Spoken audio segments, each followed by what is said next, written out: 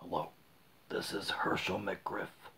He is a 94 year old professional stock car racing driver. He has won four out of 85 NASCAR races that he's competed in.